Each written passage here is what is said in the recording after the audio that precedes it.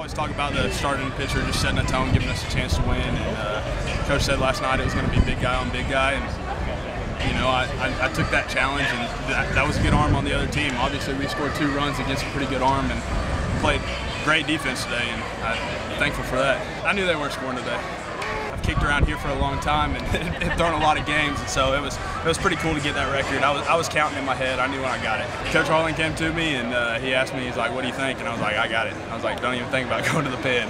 We have tough guys. You know, it, it's not always about who hits the best; it's who who grinds it out. Coach always talks about having grit. And we got a lot of guys with a lot of grit, and that's important.